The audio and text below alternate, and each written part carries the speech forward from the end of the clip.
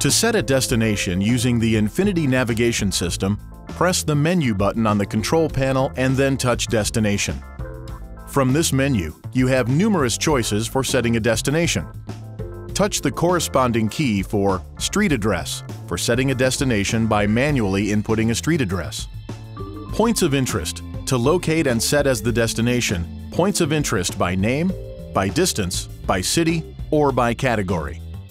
Home for guidance to a location previously set as home or to choose a home location if one has not been set.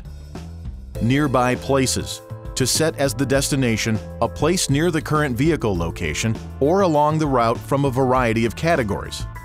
Stored locations for directions to a destination previously stored in the system.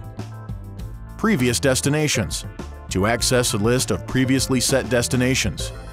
Journey Planner to set a destination previously selected on the Infiniti Connection website. Or Intersections for directions to an intersection of two streets.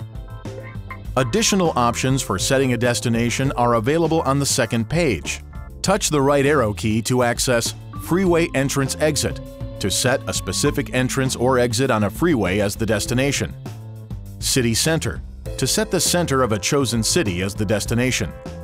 Phone numbers to use the phone number of your destination to locate and set the destination.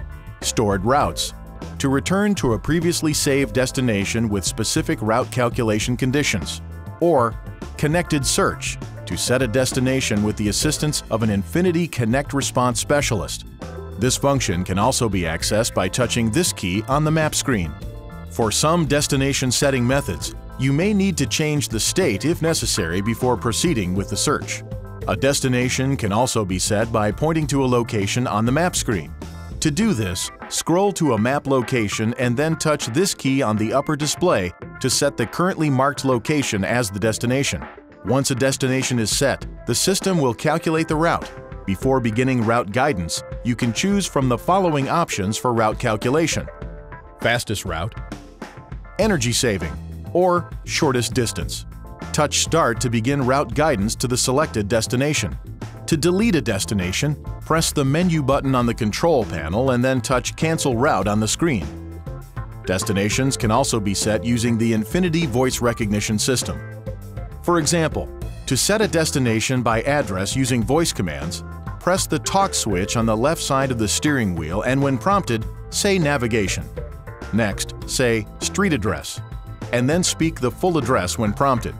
Please see your Infiniti InTouch Owner's Manual for important safety information, system limitations, and additional operating information.